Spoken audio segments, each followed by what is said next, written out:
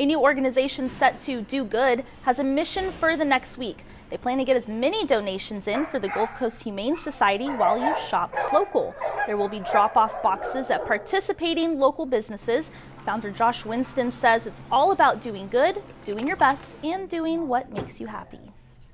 Good deeds is important to me because that's my way of being able to help the community and kind of be selfless in what we're doing and just try to give back as much as possible. The Gulf Coast Humane Society is looking for supplies such as unopened dog or cat food, puppy pads, cat and dog toys, as well as laundry detergent. We'll have a full list of items needed and drop-off locations on our website, kristv.com.